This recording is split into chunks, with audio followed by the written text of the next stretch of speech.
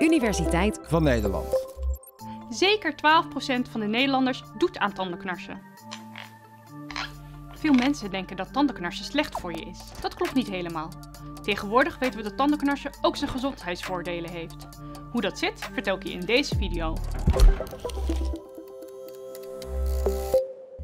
Wat is tandenknarsen eigenlijk? Bij bruxisme, de medische term hiervoor, schuif je met je tanden over elkaar heen of klem je met je tanden op elkaar.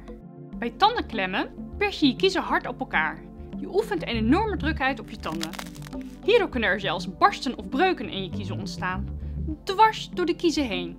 Bij tandenknarsen schuif je je tanden en kiezen over elkaar heen. Als gevolg hiervan ga je tanden en kiezen slijten.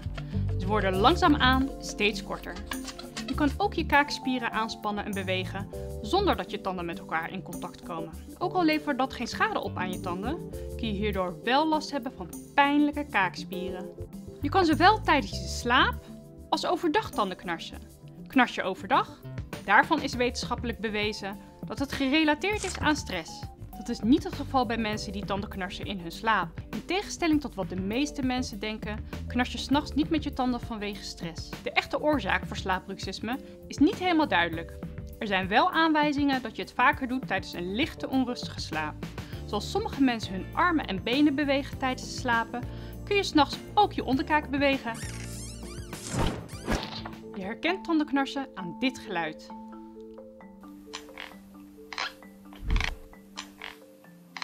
Tot voor kort zagen wetenschappers tandenknarsen alleen als iets dat slecht voor je is. Het meest voorkomende gevolg van tandenknarsen is gebitslijtage. In ernstige gevallen zijn de tanden soms tot aan het tandvlees weggeknarst. Door langdurig tandenklemmen kunnen er uiteindelijk barsten of breuken in je kiezen ontstaan. Echt dwars door de kiezen heen, tot in de wortels. Zo kun je je kiezen zelfs kwijtraken. Een andere veel voorkomende klacht van tandenknarsers en klemmers is pijn aan de kaken. Je kan dan pijnlijke kauwspieren of kaakgewrichten hebben. Je kan ook last hebben van gevoelige tanden of kiezen. Daarnaast kunnen door veel knarsen of klemmen je kauwspieren tekort worden.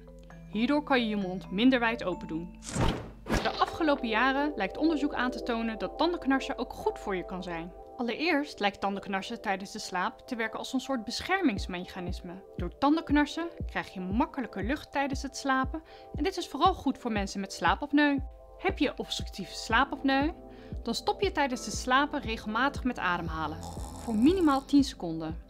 Dit komt doordat de spieren in je keelholte slap zijn, waardoor de keel dicht gaat. Zo kan er geen lucht meer naar de longen. Maar als je tanden knarst, activeer je de kauwspieren en spannen de slappe spieren in de keelholte zich weer aan. Mogelijk wordt je luchtweg hierdoor opengetrokken en kan je weer ademhalen. Ook zijn er wetenschappelijke studies gedaan naar de mogelijke positieve effecten van kauwen. Daaruit bleek dat bijvoorbeeld ouderen met hun eigen tanden een beter geheugen hebben dan ouderen zonder eigen tanden. Tandenknarsen activeert je kauwspieren en lijkt daardoor goed voor je geheugen. Verder stimuleert kauwen de aanmaak van speeksel. Tijdens je slaap wordt je mond droog. Door in je slaap te tandenknarsen maak je meer speeksel aan en wordt je droge mond weer vochtig. Dit is gezond voor je, omdat speeksel werkt als bescherming voor je mond. Het bevat allerlei stofjes die beschermen tegen de schadelijke invloeden van bacteriën, die bijvoorbeeld gaatjes veroorzaken, of van maagzuur. Door tandenknarsen belast je via je tanden ook je kaakbot, wat het proces van botontkalking kan tegengaan.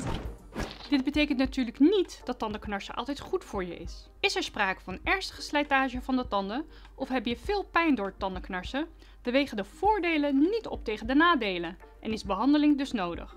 De meest gangbare behandeling tegen tandenknarsen is een knarsplaatje. Je draagt een knarsplaatje om te voorkomen dat je tanden tegen elkaar aan kunnen schuren. Je gaat meestal wel door met knarsen, maar het plaatje beschermt je tanden tegen verdere slijtage. Wij wetenschappers weten nog lang niet alles over tandenknarsen. Meer onderzoek naar de voordelen ervan is dus nodig. Knars je dus een beetje met je tanden, maar heb je volgens jou en de tandarts verder nergens last van, dan hoef je je geen zorgen te maken. Sterker nog, waarschijnlijk is het zelfs goed voor je. Is radioactief afval van een kerncentrale waardeloos? Nee, want je kunt het hergebruiken.